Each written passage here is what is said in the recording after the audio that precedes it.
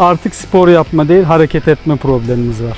Hareket etmenin ve spor yapmanın su içmek kadar önemli olduğunu farkında olmalıyız. Spor yapmak sadece başarı kazanmak için değildir. Sağlıklı ve konforlu bir yaşama sahip olmak için spor yapılır. Bireysel sporlar aynı zamanda nitelikli bir düşünme için en ideal zamanı oluşturur. Asıl yapmamız gereken spor yaparak örnek olmak. Yoksa konuşarak, anlatarak maalesef spor yapmayı sağlayamıyoruz. Sporla kalın, sağlıkla kalın.